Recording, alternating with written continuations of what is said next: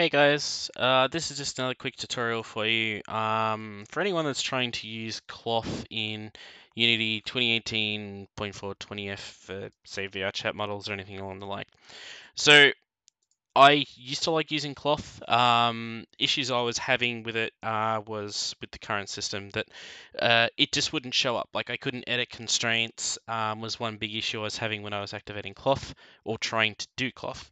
Uh, so I'm, this tutorial is basically here to help you guys problem shoot any issues that you have. Um, this is what I discovered and how I worked it, how to get around it to still use the cloth mechanic. Okay, so just a little bit of groundwork with this, guys. So the root of the problem and why it doesn't work is got to do with pretty much the layout is what I found. Okay, other people might have found other different things, but this is how I found to get it work. So what I would do first is you need to save your current layout because this is to do with basically how you've got like your project tabs, your animation tabs, how you've got your other bits and pieces and your lighting and effects all set up. So come to the top up here next to where you've got layers and stuff like that and just save your current layout. So mine's already saved to current spag because that's that's what I use. This is how I've saved it. Don't worry too much about the other spag that's there in my list. Okay, so to show you at the moment, uh, I think mine's actually coming up just because I wanted to test it before this thing, but mine's actually showing up, but it's on the angle. I'll show you how to fix that as well. But if yours isn't showing up at all, this is how you fix that problem. All right, so first off, you need to remove your cloth component if you've already got one there. All right, uh, you need to come up to the top up here. After you've saved your layout, change it back to default. Okay, it'll reload up with all the default settings and stuff like that. Then navigate to your, in my case, mine's the dress. My separate mesh is the dress. Okay. And the thing that I want to make cloth, go add component and now add cloth. And if you click edit constraints, you'll get your dots show up. Okay.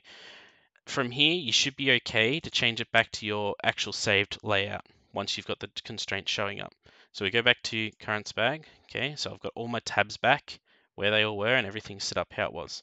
Now to fix this issue where it's on the angle like that, what that what you do to fix that, we're just going to remove cloth from a moment. Okay, we need to change this root bone here. Change it to your armature. Drag armature into root bone over here, and that puts our bound box back where it needs to be. Okay, now if we go cloth again, add component and add constraints, you can see we've got all of our uh, constraints and stuff where they need to be. Now, the next issue that we've got, they're so big that it's going to be hard to be able to paint it. Okay, so what we do to do that, fix that, you need to remove the cloth again. Okay, click on your actual model's name. In my case, it's called Tiger, and we want to make it bigger than what we actually need. So my scale at the moment, mine's set to 0.9 because I wanted her a little bit shorter than average. Okay, but I'm going to make it for doing the cloth component. I'm going to say make her 20 by 20 by 20. So she's absolutely huge. All right, this just makes it a little bit easier when it comes to painting the cloth component. Now we go back to the dress again. We can see the bound box is still, this is your boundary box or bounds box. We can see that's still around the dress at the moment. We go add component, cloth, edit constraints, and now you can see the dots are all there, but they're a lot smaller and a lot easier to work with. All you need to do from there Okay, make sure that you've got back faces on there as well so that you can get the back as well. I do select and basically I just select an area like so. This is only rough guys just to give you an idea on what to do. Uh, we max distance, max, uh, sorry, surface penetration on and you'll have this red marker here. Okay, that's the basis for your cloth. And now if I hit play, I go back to scene you can see we've got working cloth there at the moment. You can see there's like little bits and pieces that probably need to be fine tuned and removed and stuff like that. Like the chain I could probably fix up and all that sort of stuff. That might require me to go back to Blender. Uh, now, as for your thing, so it doesn't go through the legs and stuff, um, your boundaries and stuff like that, easiest way of find for that, uh, navigate through your armature, hips, and I'm going to go to the left leg. I'm going to expand it and add, right click, create an empty object. I always like to do empty game objects because it's easier to move those around as opposed to moving the bone. We're going to create a new component, and we want a capsule collider. You don't want the 2D one, you want the 3D one. Okay, we got to make sure it is trigger.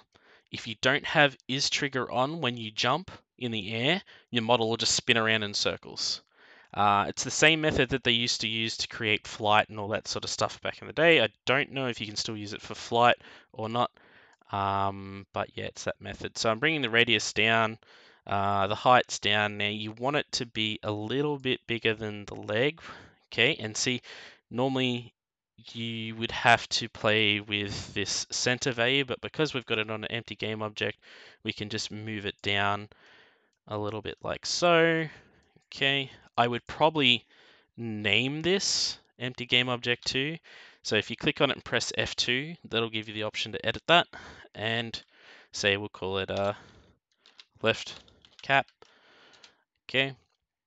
What you can do to make life a lot easier too now is we can right click it and go duplicate, drag that onto the right leg. We'll rename it to uh, right cap. Okay, and then we'll just shift it across to where it needs to go over here.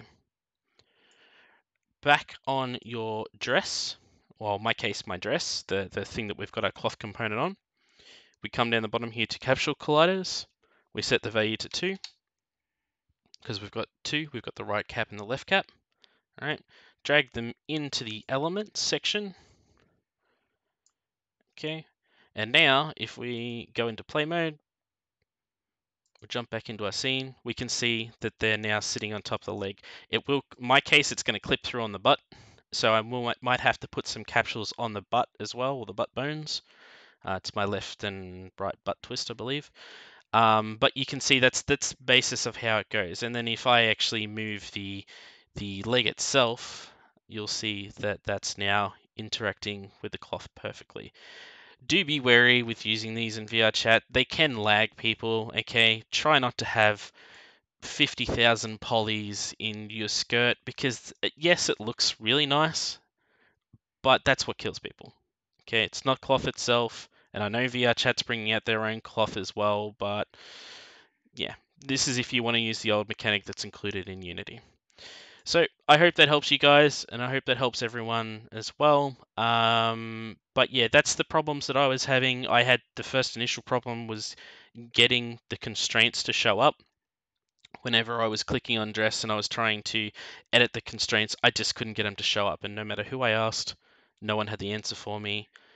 I fiddled around enough and worked out that it was because of this. Um, yeah, so just remember to save your layout first so you don't have to set that back up. Big stress because I didn't save mine, didn't realize that's what it did. Uh, save your layout first and then change it back to default.